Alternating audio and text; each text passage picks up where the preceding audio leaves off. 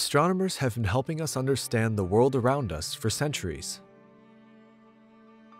Omar Khayyam was born in Persia, now Iran.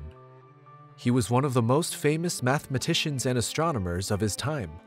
In 1073, the Sultan asked Khayyam and some other scientists to build an observatory. He asked them to use the observatory to fix the calendar that was in use at that time. Khayyam's observations enabled him to work out the length of the solar year.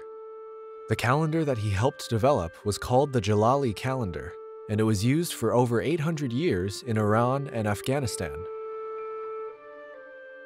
Polish-born Nicolaus Copernicus is best known for his theory that the planets move around the sun. Most people at that time thought that the sun moved around the planets. His ideas changed the way people thought about the Earth and its relationship to the sun and the solar system. Galileo Galilei was born in Pisa, Italy. He was one of the first to use a telescope to discover the planets and stars. He discovered that the Milky Way was made up of millions of stars, and that the moon did not have a smooth surface as people thought at that time, but had mountains, valleys, and craters. He observed there were four moons around Jupiter, and his studies also confirmed Copernicus's theory that the planets revolved around the sun. Johannes Kepler, from Germany, was a mathematician, astronomer, and astrologer. He also invented eyeglasses for nearsightedness and farsightedness. Kepler is most famous for his three laws of planetary motion, which he developed after many years of studying the stars. He observed that the planets moved in an ellipse around the Sun, not in a circular motion as was previously thought.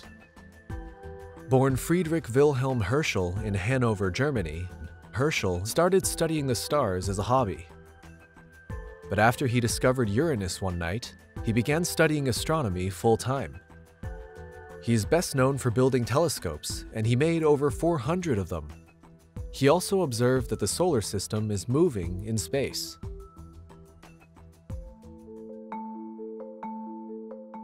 Edwin Hubble, from Missouri, made discoveries in astronomy that changed our modern-day understanding of the universe he found that there were galaxies apart from our own Milky Way. He also observed that the galaxies were moving away from each other at a set pace, which meant that the universe was expanding. This became known as Hubble's Law.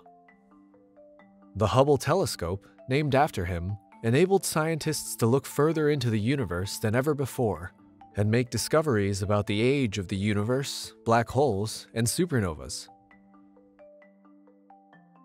People continue on the work of these famous astronomers by making new discoveries about space every day. What else do you think humans might find out there in the stars? If you liked this video, you can find it and so many more at clickview.net. Sign up for free today.